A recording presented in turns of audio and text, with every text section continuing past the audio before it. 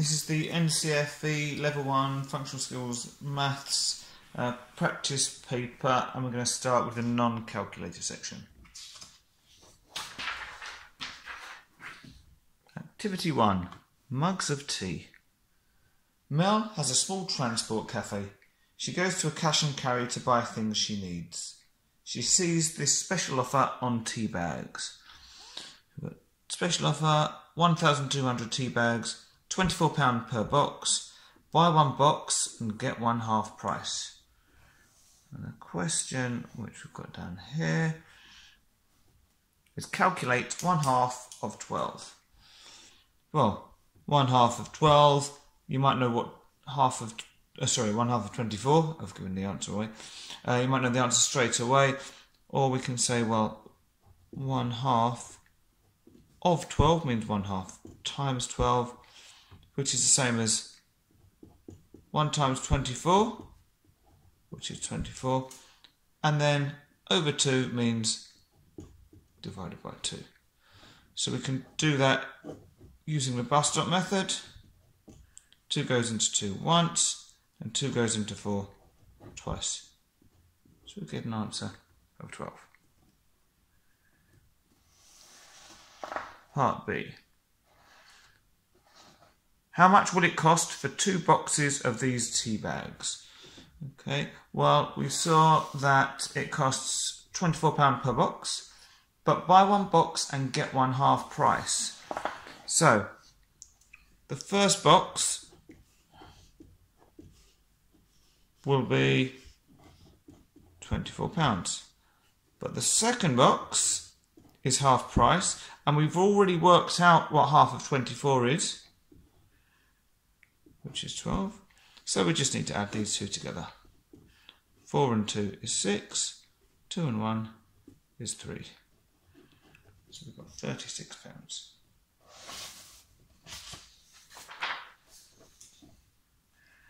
One C. Mel buys two boxes of tea bags with this with the special offer. Calculate the price per tea bag.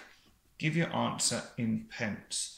Okay, well we know that Two boxes cost us £36 and there were 1,200 tea bags in each box. Let's just double check that. Yeah, 1,200. So if we're buying two boxes, we're going to have, so £36 is for 2 times 1,200, which is 2 times 0 is 0, 2 times 0 is 0, 2 times 2 is 4, 2 times 1 is 2. So £36 is for 2,400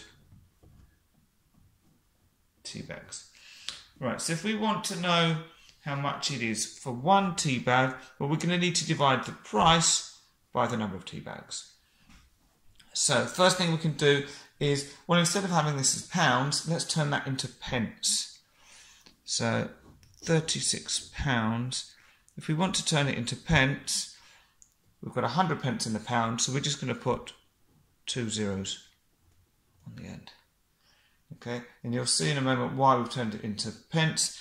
That's because when we do the amount divided by the number of tea bags, well, now we've got a big number divided by a big number, so we can cancel one zero with one zero, and another zero with another zero.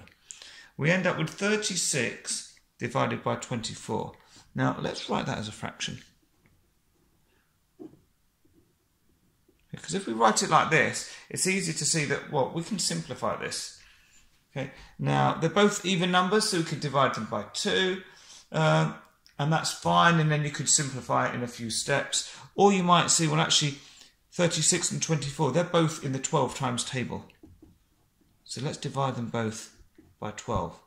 So 36, so we've got 12, 24, 36. So we get 3. And 24, well that's 12, 24, so that's 2 12s. So we get 3 over 2, which we can turn into a mixed number. So 2 goes into 3 once with 1 left over. So we get one and a half or 1.5 pence. And part D. Let's go down here. That's right. A mug of tea contains about 20 millilitres of milk. How many 20 milliliter servings are there in a one litre bottle of milk? Yeah, well, one litre is 1,000 millilitres. Okay, so what we want to do, if we want to know how many 20 millilitres there are, are in one litre, we're going to do 1,000 divided by 20. And again, because we've got zeros, we can cancel a zero here with a zero there, which means we end up with 100 divided by 2, or half of 100. Well, let's do it bus stop method again.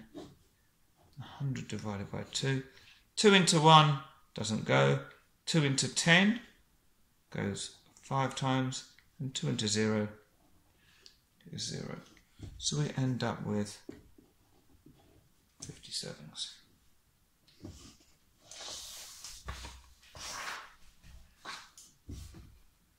Then part E. 5 kilograms of sugar costs £3.20 and contains 1,000 teaspoons of sugar. How much in pence does one teaspoon of sugar cost? Okay, so let's, because it's in pence, let's turn our pounds into pence again. So £3.20 in pence. We're going to multiply it by 100 because there's 100 pence in the pound. So that means we're going to move our decimal point twice to the right. So we get 320p. Now, we've got a thousand teaspoons of sugar. So we're going to take our 320 and divide it by a thousand. So if we're dividing by a thousand, that means we're going to move our decimal point three places to the left. Now at the moment you might say I haven't got a decimal point. Well, if we haven't got one, that means it must be of invisible at the end. So we need to move it three times. So one, two, three. So we're going to end up with 0 0.32. Put that.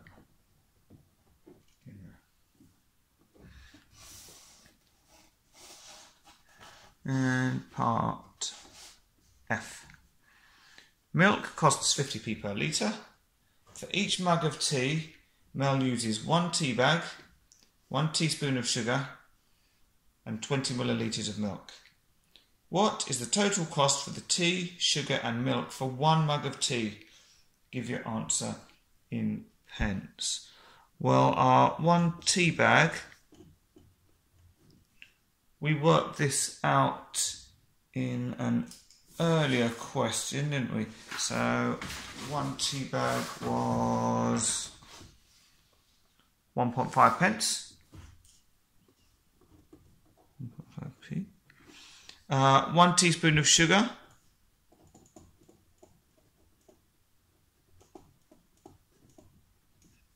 How much was that? Well, we worked that out just up here. So that was 0.32p. So 0.32. And then we want 20 milliliter of milk.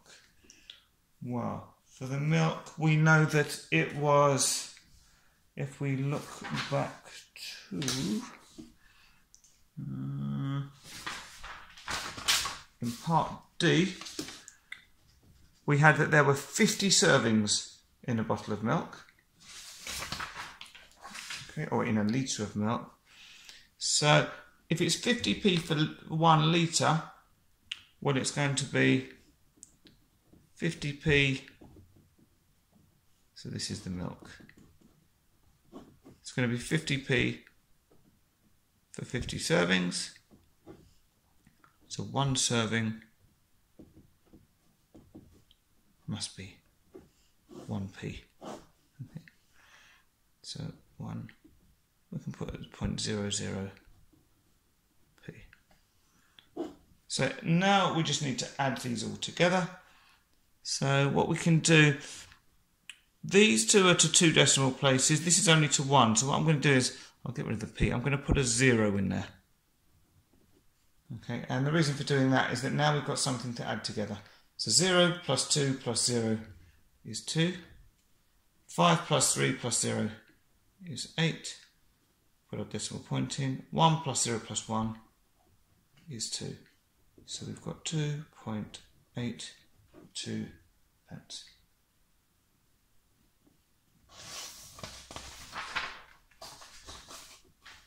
And then part G. Including staff and overheads, the total cost of making one mug of tea is 80p. Mel charges 55% more for a mug of tea than it costs to make. How much does Mel charge for a mug of tea in the cafe? Give your answer in pounds.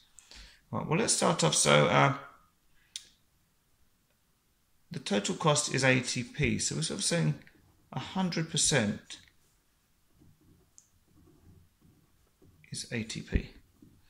She charges 55% more. So we want to work out 55%.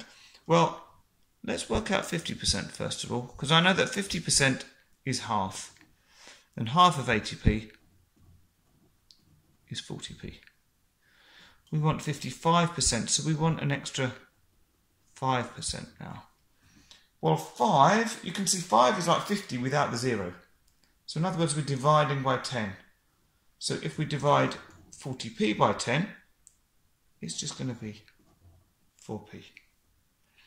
So if it's 55% more, we want to add up cost of 55% and add it on to the original. So 0 plus 0 plus 4 is 4. 8 plus 4 is 12. So it's 124p. But they want the answer in pounds. So we're going to need to divide it by 100. So again, if you think of our decimal point as being at the end of the number, we're going to move it twice. So we're going to get one pound 24. And that's the end of the non-calculator section. This is the NCFE Level 1 Functional Skills Maths Practice paper and this is the calculator section.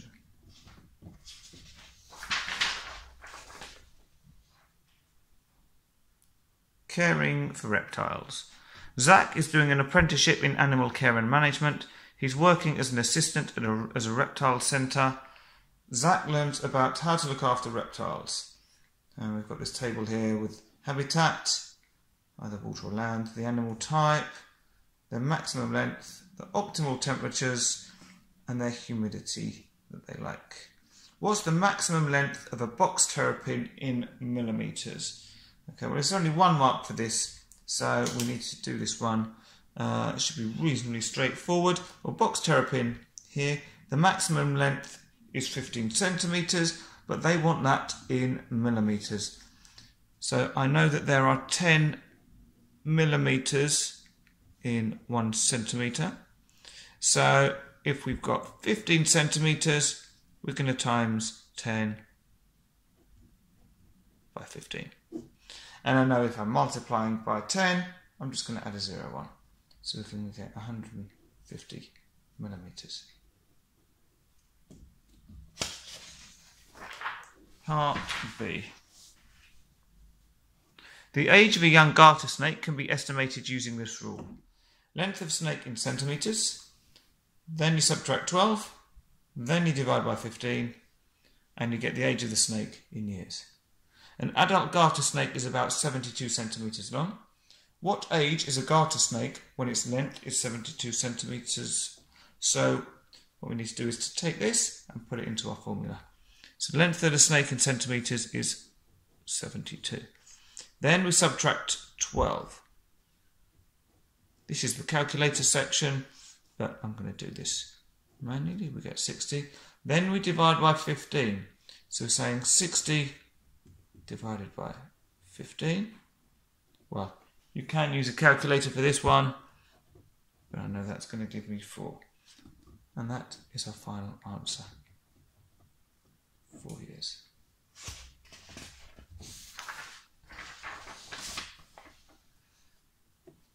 Two C. It is important that reptiles are given the correct diet. The calcium, and this is our sort of ratio symbol, so the calcium to phosphorus weight ratio in their food should be close to 2 to 1. The table shows the weight in milligrams of calcium and phosphorus in one scoop of food. So in watermelon, the ratio is 36 milligrams of calcium to 9 milligrams of phosphorus. And in cauliflower, the ratio is 160 grams of calcium to 80 grams of phosphorus. Which food has the better calcium to phosphorus ratio for reptiles? And by better, we're being told, remember, uh, that we want it close to 2 to 1. Okay. Well, for watermelon,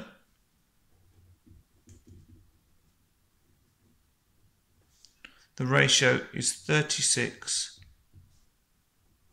to 9 calcium to phosphorus. So we can simplify this. So we want to look at uh, what's a common factor of 36 and 9? Well, I know that 36 is in the 9 times table, and obviously 9 is also a, a, a factor of, or multiple of 9. So let's divide both by 9. 36 divided by 9. Well, we've got 9, 18, 27, 36. So 9 goes into 36 four times, and 9 goes into 9 once. So the ratio simplifies to 4 to 1. Let's have a look at cauliflower. And the ratio for cauliflower is 160 to 80. So we want to see if we can simplify this down. Well, we can cancel the zeros straight away. Right, what number goes into 16 and 8? Well, I know that 8 goes into 16, and obviously 8 goes into 8. So 8 goes into 16, 8, 16, that's twice. And 8 goes into 8 once. These are both even numbers, so you could have simplified them by dividing both by 2 and then doing the same again uh, because it was they'd still be even numbers. But we get down to 2 to 1. It says uh, the calcium phosphorus weight ratio in their food should be close to 2 to 1. Well, for cauliflower, it's exactly 2 to 1. So the best food for them is going to be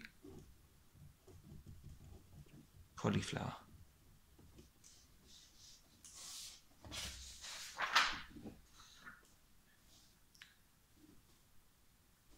Two D. A customer needs to buy a tank for his snake. Zach has this information about the size of tanks. So, if your snake's between 0 and 30 centimetres, then the minimum floor area for a snake is 300 centimetres squared.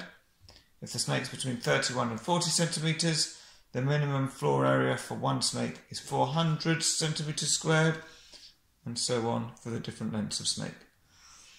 The Reptile Centre sells these five sizes of tanks we've got mini, small, medium, large and extra large. These are the dimensions, the length and the width, and these are the costs. Uh, the question down here, which is the cheapest tank the customer should buy for one snake which is 45 centimetres long? Show you're working. Well, if it's 45 centimetres long, that's going to fall into this category, 41 to 50. So we're going to need a minimum of 600 centimetres squared.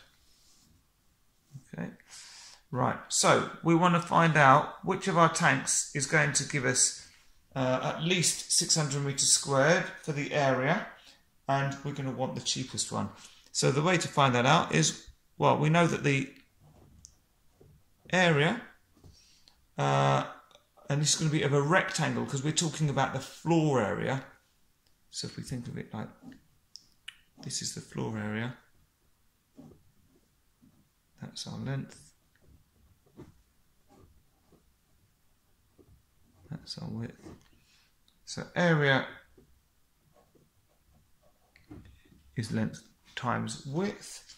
So we can use the calculator for this. So the first one, we've got 18 centimetres by 11.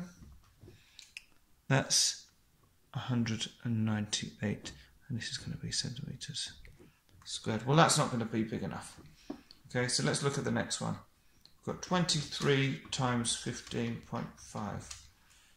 That's 356.5 centimetres squared. Still not big enough. So we look at the next one. So 31 times 19.5. We get 604.5. Well, that's more than 600. So we're going to go with that one. It might also fit into these two, but uh, we want the cheapest tank. So it's going to be this one, because we know that he won't fit into either of those two. So which is the cheapest tank? Well, it is medium.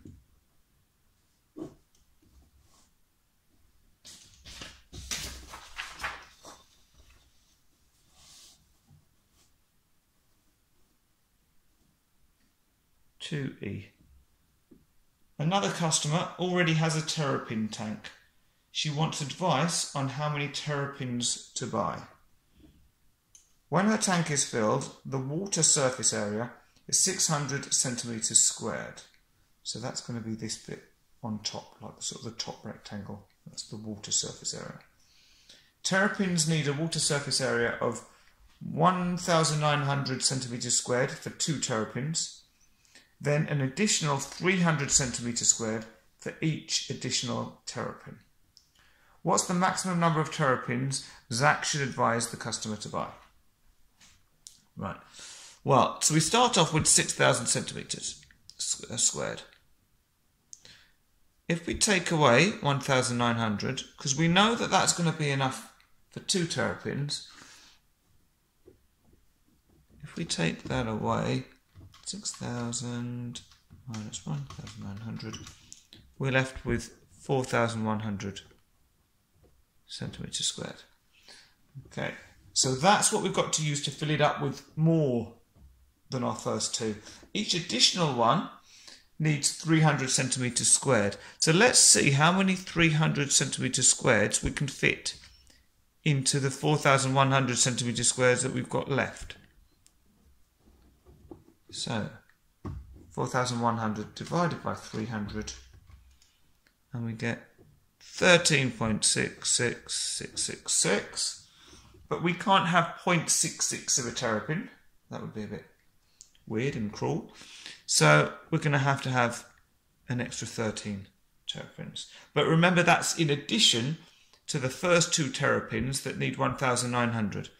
So we're going to add our 2 to the 13 and we get 15 terrapins.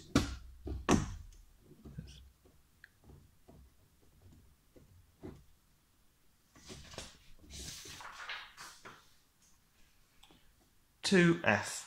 At college, Zach learns about snakes. He reads this data about the lengths of snakes found in one area. So, uh, length of snakes. So, for snakes between 20 and 24 centimetres, there were seven of them.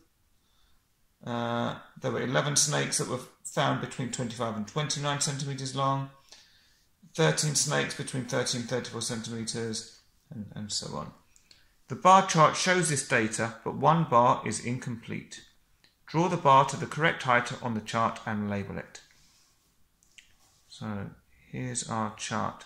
Length of snakes found in one area. So 20 to 24, we can see we've got this line here, and if we read this across, if this is 5 and that's 10, then it must be one square for each because it would be 6, 7, 8, 9, 10. So there were seven snakes between 20 and 24. And that agrees with up there. If we look at the next one, 25 to 29, read it across. There were 11 snakes, which agrees with up here. This is our missing one, the third group. And what were the length of those? Well, it was 30 to 34. Put that in. And how high does the bar need to go? Well, 13. Right, we want to make our bar the same width as all of the others. So how many squares have we got? One, two, three, four, five. And how many squares between each one? One, two, three, four, five. So one, two, three, four, five. So we're going to start here and we want to go up 13. Well, this line here is 10, so 11, 12, 13. So one line there, and we need it to be five squares wide, so one, two, three, four, five. And we want to go up to 13 again, so the same height as the other one. And then we can just draw the top on there. Okay, and that's it. We don't need to colour the bar in. That's all we need to do.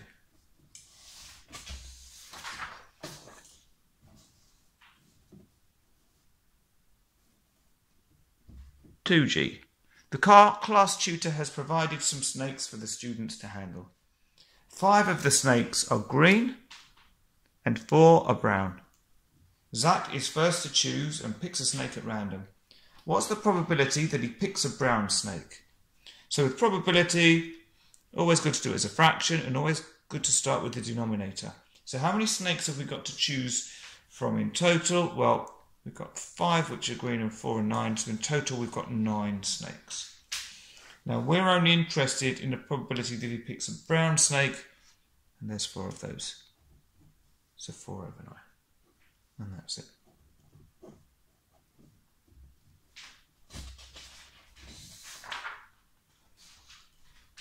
Activity 3 Cycling Trip.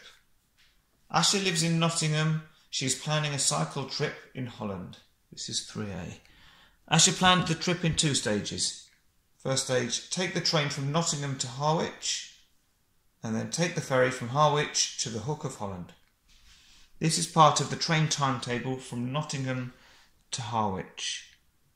So, uh, the 1702 leaves Nottingham at that time and arrives at Harwich at 2117. We've got the time of the next train, and the next one, and the next one. And the question is, how many hours does the 1928 train from Nottingham, so that's, this is 1928, so it's this one we're interested in, take to get to Harwich if it runs to time? Give your answer as a mixed number. Right, okay. So, we're starting at 1928 and we want to get to 2258. Well, I'm going to add on an hour each time. So if we add on one hour, it will get to 2028. Okay. Oh, where is it? This one here. Okay, so we're not there yet. So let's add on another hour. That would take us to 21, 28. Right, still not there. I'm trying to get the hours the same. So add another hour and we get up to 22, 28. Okay, well, we've got there on the hours, but we're not there on the minutes yet. So how many minutes to get from 28 to 58? Well, we can do 58 minus 28. So we need another 30 minutes. And that will get us to 22.58. Okay, so we've got three hours 30 minutes. But they said give your answer as a mixed number.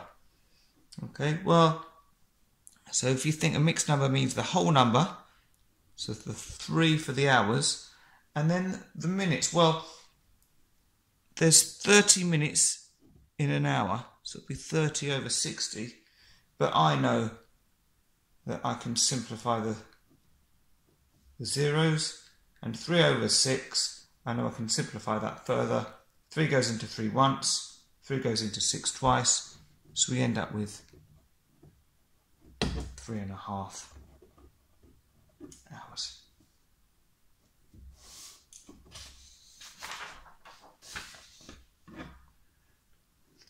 Three B. The return train fare from Nottingham to Harwich is £158.80. Asher has a student rail card which gives her 30% off. How much will Asher pay for her return ticket? Okay, uh, I'm going to do this in two ways. The first way I'm going to do this is say, well, let's work out what 30% of this is and then take it away. So 30% would be 30 divided by 100 and then multiply it by 158 pounds 80. And if we do all of that,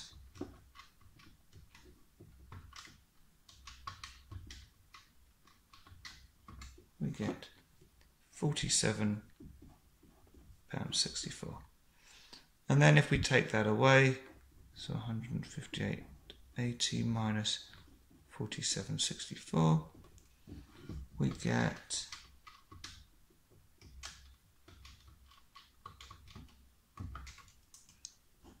hundred and eleven pounds and sixteen p. Now, if you want an alternative method, or if it's thirty percent off, well, that means that if we're starting with a hundred, this is a hundred percent, thirty percent off would leave seventy percent. So we can go straight for working out what 70% of £158.80 is. So 70 divided by 100, or you might know that 70 over 100 or 70% is the same as 0.7. Then multiply that by £158.80, and that gets us straight to £111.16. Okay, so this is a slightly quicker method because we don't have to take the number away afterwards. We go straight for 70%. But either way is fine. Both give the same answer. Okay, part C. Asher plans to cycle from the Hook of Holland to Amsterdam. Her map has a scale of 1 centimetre to 8 kilometres. So that means every 1 centimetre on the map means 8 kilometres in real life. The straight line distance between the Hook of Holland and Amsterdam is 70 kilometres. What is the measurement between these two places on Asher's map? Give your answer in millimetres. Okay, well, 70 kilometres on the map. We know that there are 8 kilometres for every 1 centimetre on the map. So if we do the 70 divided by 8, that will tell us how many centimetres we're going to have. So 70 divided by 8, and we get 8.75, and that's centimetres. Now, we want the answer in millimetres. Well, I know there are 10 millimetres in 1 centimetre. So that means I want to multiply 8.75 by 10 and you can use your calculator or you can just say, well, if I'm multiplying by 10, I'm going to move that decimal point one place to the right. So we get 87.5 millimeters.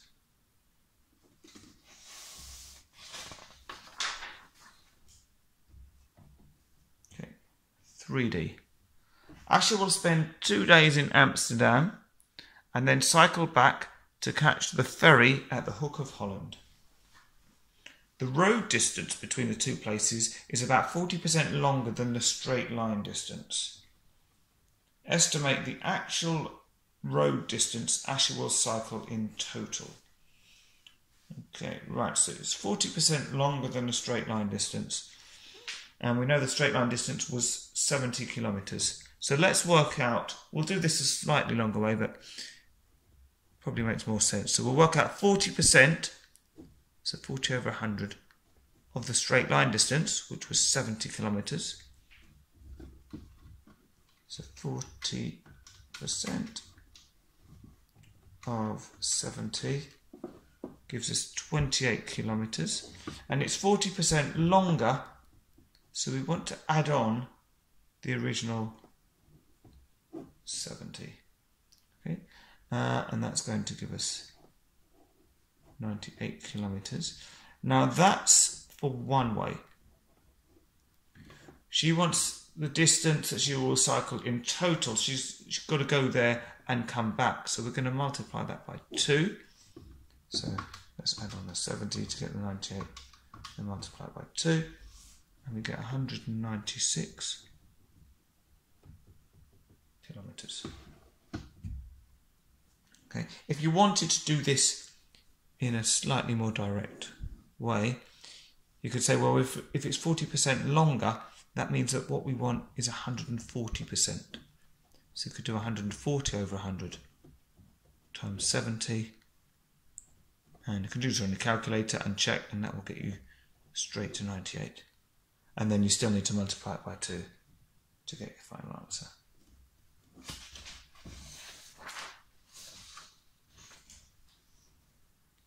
Three E. Ashley needs to buy a pair of cycle bags for her trip. She reads an article which says that for a cycling holiday, the cycle bags need to have a capacity of at least 20 litres each. One litre is the same as 1,000 centimetres cubed. Asher sees some cycle bags which each have these dimensions height 42 centimetres, width 32 centimetres, depth 17 centimetres. Uh, so let, us draw a little picture of that. So our height is 42 centimetres, our width is 32, and the depth, so this distance is 17. Okay, the cycle bags are roughly cuboid in shape, so that's how I know I can draw it like this. Uh, let's shift that up. Yeah. Are these, and these are all centimetres. Okay, but remember, if you are doing a sketch, you don't need to be 100% exact, so you don't have to always write the measurements on, but it's usually safer too so we don't get them mixed up. Uh, are these cycle bags large enough? Well, we know that they need to be 20 litres in capacity each, so let's work out the capacity or the volume of this shape. Okay, so uh, if we want the volume, we need to multiply the height by the width by the depth. Or you might know it as width times length times height, or but basically you're multiplying the three different dimensions together. Okay, so we're going to want to multiply 42 times 32 times 17. So let's do that and see what we get. And we get 22,848 and that's centimetres cubed. Now we're told that one litre is the same as 1,000 centimetre cubed. So if we want to know how many litres, we need to divide it by 1,000. So I've still got my answer there. Divide it by 1,000 and we get 22.848 litres. And that's more than 20 so yes these are large enough. Yes.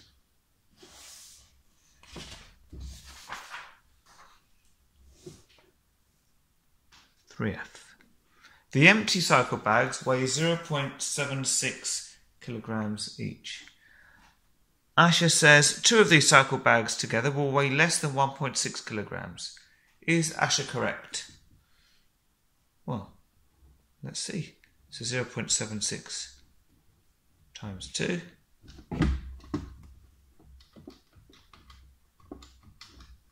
And we get 1.52. Well, that's less than 1.6. So yes. Quite a nice straightforward one there. 3, 3G. The cycle bags that Asher buys weigh 0.85 kilograms each. Asher fills one bag with clothes. The clothes weigh 473 grams. How much does the cycle bag containing the clothes weigh? Right, well, we've got the bag in kilograms and we've got the clothes in grams. So it hasn't said what units they want the answer in. So basically, we need to get them in both the same. Doesn't matter which way you do it. Uh, let's turn the cycle bags into grams. So I know that there are 1,000 grams in one kilogram. So if we do 0.85 times 1,000,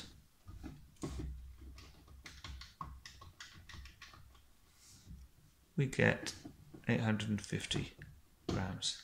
That's for the bag. Okay. Uh,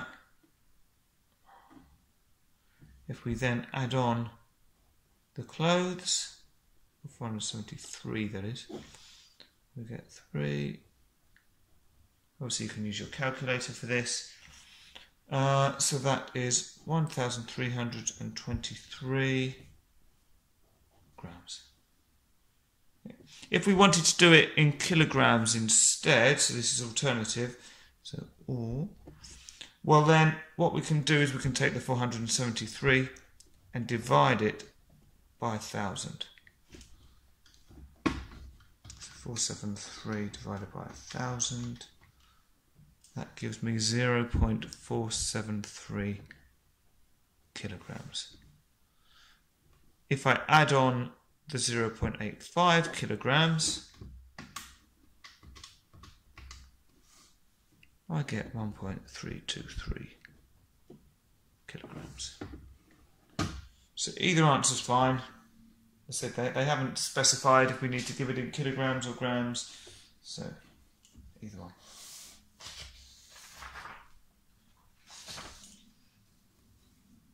And 3H. Ash's instructions say when you leave the ferry port, go east. Asha is cycling north.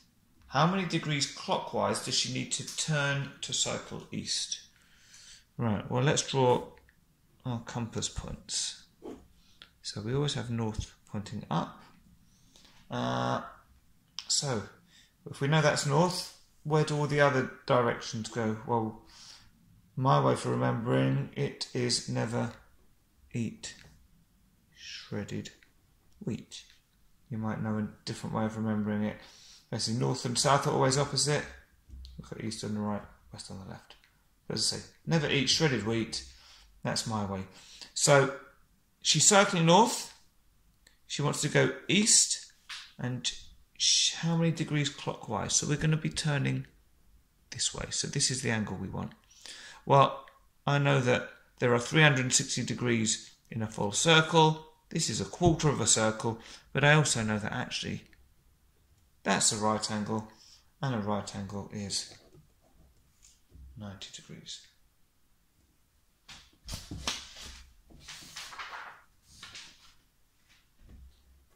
Activity 4 Sleeping Rough.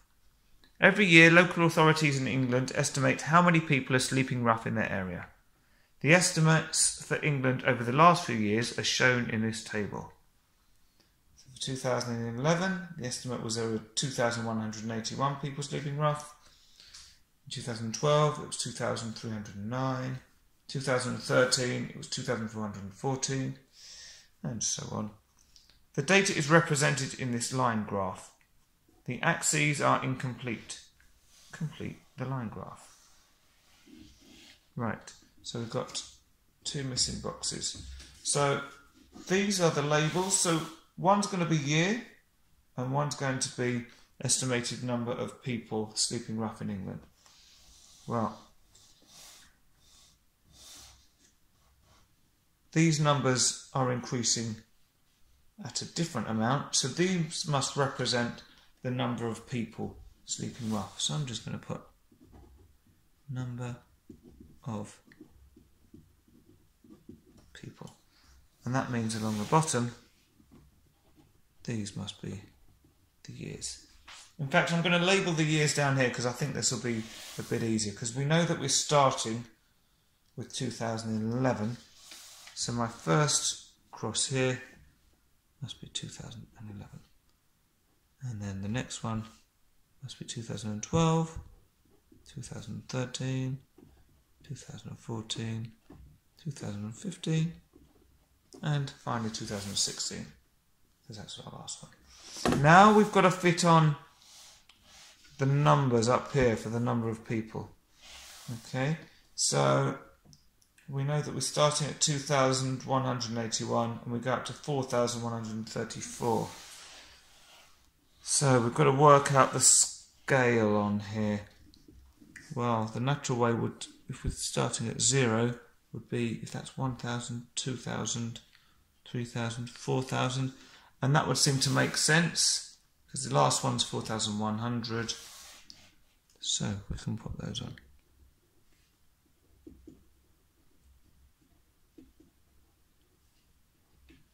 And when you're labeling the axes, you always want to go at least as high as the biggest number. The biggest number is more than 4,000, so we're going to have to go up to 5,000 there.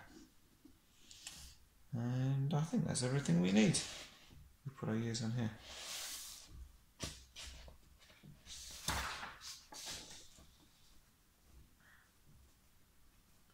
Four B. Between 2014 and 2017, the number of people sleeping rough increased by 75%. Write this percentage as a fraction in its simplest form. 75% means 75 over 100. Uh, so we can simplify this. Well, if the number ends in 5, I know that 5 goes into it. And if the number ends in 0, I know that 10 and also 5 goes into it. So I could divide both by 5. But also I know that these, these numbers, 75, I know 25 goes into 75. Uh, 25, 50, 75. So it goes in three times. And 25 goes into 100, 25, 50, 75, 100, four times. So I know that's equal to three quarters. Let's say you could divide both by five first and, and simplify and then do another step afterwards. Either way, you're going to end up with three quarters. Uh, alternatively, if you've got a scientific calculator, if you type 75 divided by 100 equals into your calculator, either it will show up as 3 quarters straight away, or if it shows it as a decimal 0.75, you can press your S to D button, which is sort of top row of the, no, bottom row of the scientific calculator bits over on the right, and that will turn it into a fraction. But this is, this is probably more straightforward. Okay, calculate 75% of 2,744. Give your answer to the nearest 100. Okay, so 75%, so that means 75 out of 100. Of always means times. So 75 divided by 100 times 2,744. So 75 divided by 100 times 2744. And we get 2058. Now, they told us to give your answer to the nearest hundred. Well, these are my hundreds, so I look at the number after it, which is a 5. So if it's 5 or more, we round up. So this is going to round to 2,100. And we can put that in there.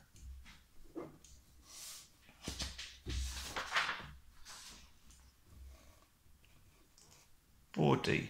The charity asks people to donate 40p a day to sponsor rooms for people sleeping rough.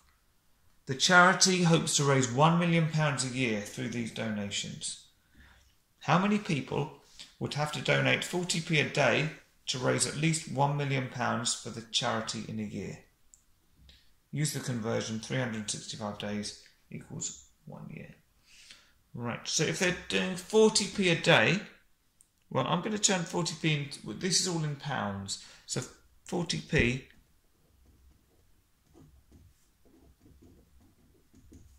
would be 0.40 pounds. Now, if you, they're doing that every day, so multiply it by 365, in one year, one person donating this would donate 146 pounds.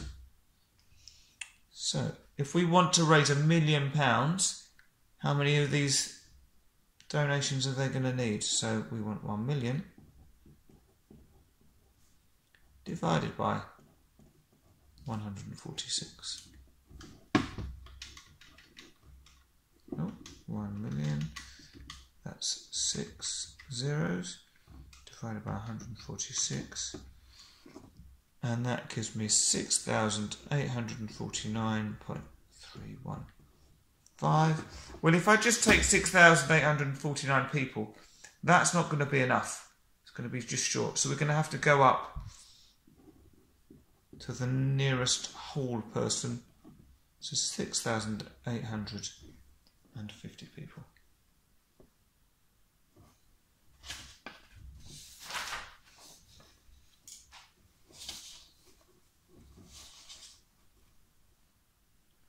Four E. A community group raises money to help people who sleep rough. Volunteers pack shopping bags at a local supermarket and ask shoppers for donations. The table shows the number of volunteers who packed bags on 32 Saturdays in one year. Use the and so these are all the different values we've got. Okay, so uh, one volunteer number of volunteers. So uh, uh, on one Saturday there were four volunteers working. On another Saturday there were five volunteers. Another day there were two. Use the data to complete this frequency table.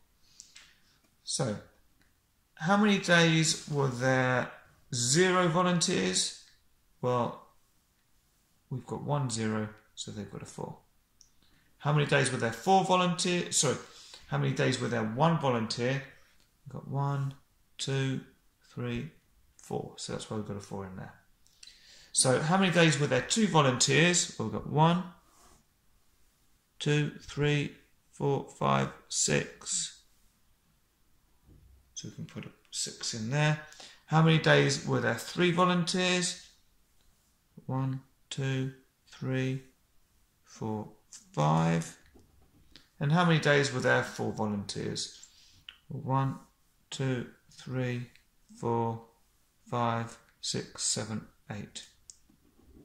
And let's check that they all add up to 32, which is our total. So 1 and 4 is 5, add 6 is 11, add 5 is 16, add 8 is 24, at 7 is 31, at 1 is 32. Okay. So you can use a calculator to check those as well.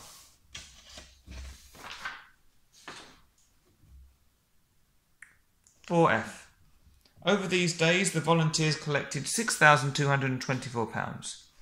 What was the mean amount of money collected each Saturday? Well, 6,224. And we saw from the previous question there were 32 Saturdays. Now, it doesn't matter the fact that there was one Saturday where there were no volunteers. There were still 32 Saturdays in total. So 6,224 divided by 32 gives us £194. We've got it 0.5, but because it's money, we need to add the zero to make it £194 and 50 pence. We'll put that there.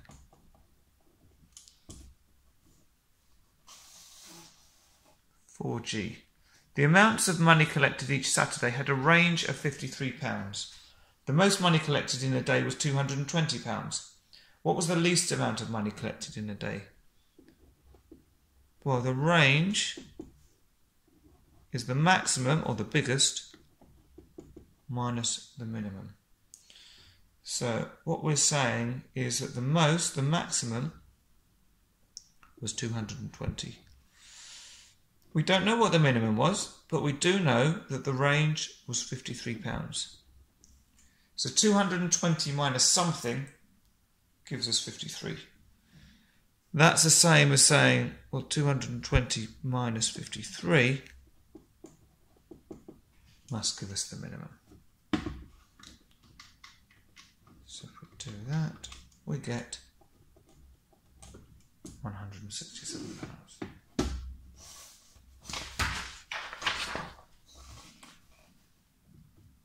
And finally, Abdul is a member of the community group. On a Saturday, he either packs shopping bags or he takes part in another activity. The table shows the probability of him taking part in each activity. So bag packing has probability of 0.35, playing football 0.5, uh, playing computer games probability of 0.11, and shopping probability of 0.04. Obviously doesn't like shopping much.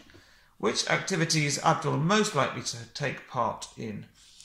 Explain how you decide. Well, it's going to be the biggest number which is football. Okay, so